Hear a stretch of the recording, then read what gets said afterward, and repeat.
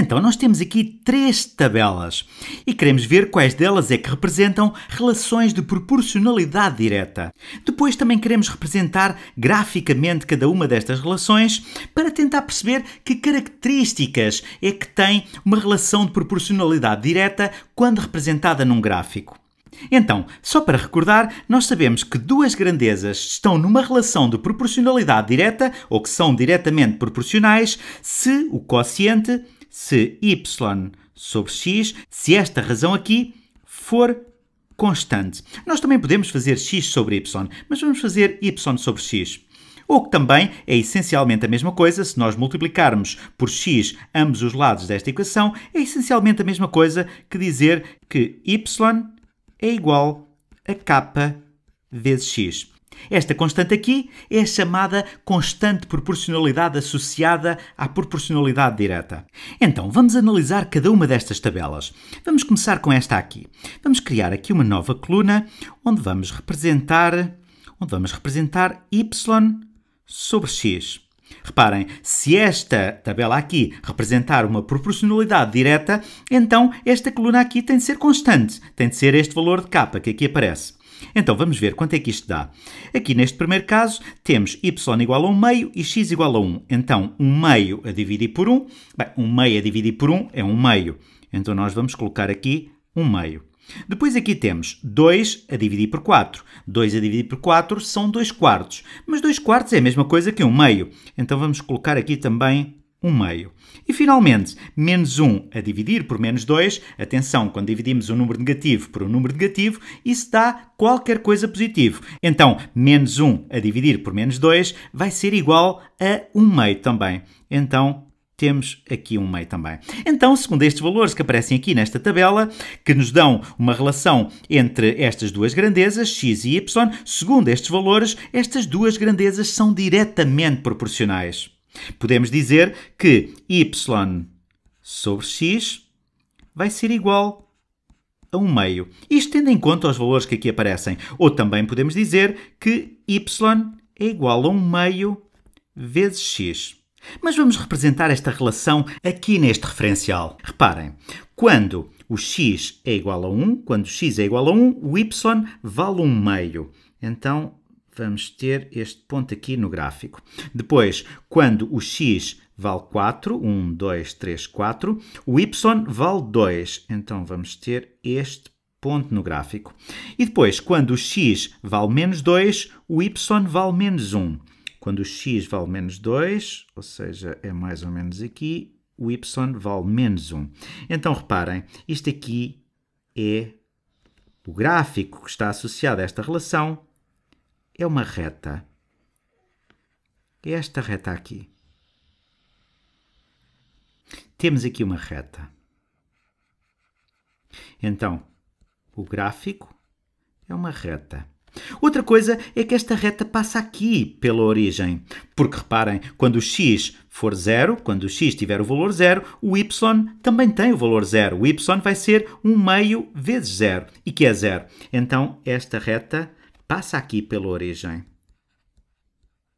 Então, quando temos duas variáveis, duas grandezas, que são diretamente proporcionais, que estão numa relação de proporcionalidade direta, então, graficamente, essa relação é representada por uma reta. O gráfico da função associada é uma reta e, além disso, é uma reta que passa pela origem. É o que se chama uma função linear.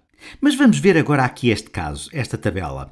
Então, tal e qual como há pouco, vamos criar aqui mais uma coluna para ver quanto vale y sobre x.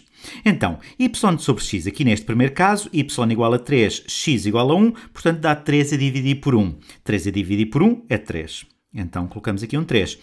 Aqui vamos ter 5 a dividir por 2, ou seja, 5 meios.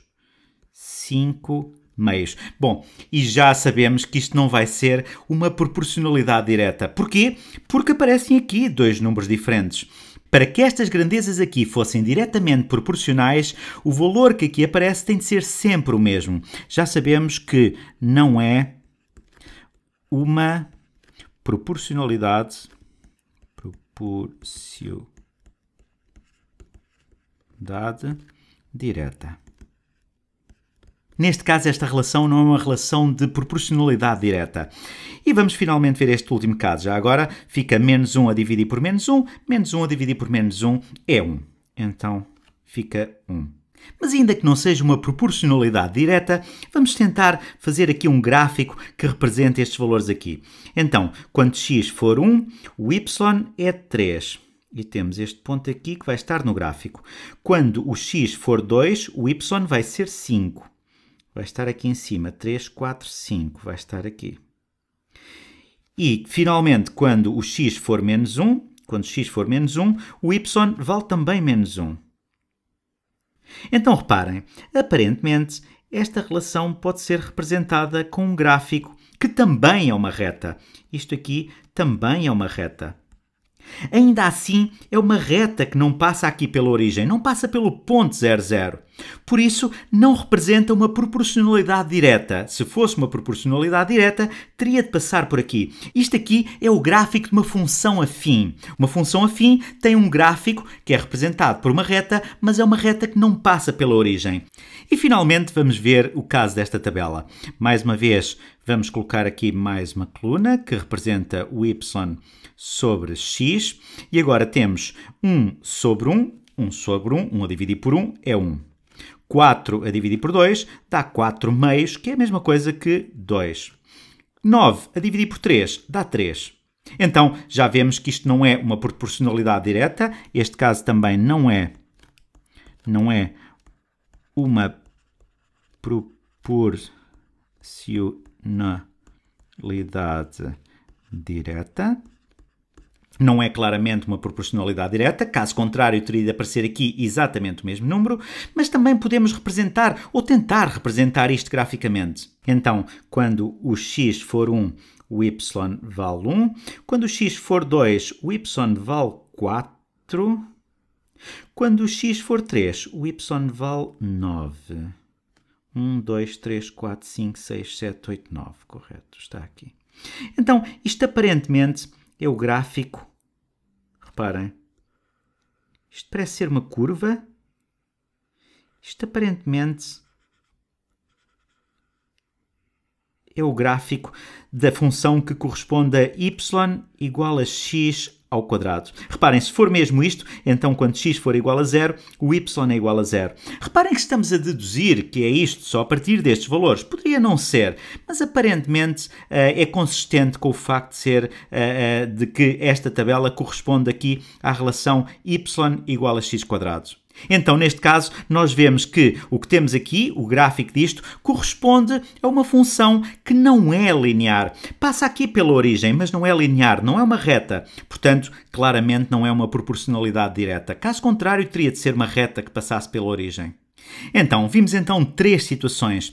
Esta primeira é uma situação onde temos uma proporcionalidade direta. Estas duas grandezas são diretamente proporcionais. Neste caso, o gráfico associado é uma reta que passa pela origem.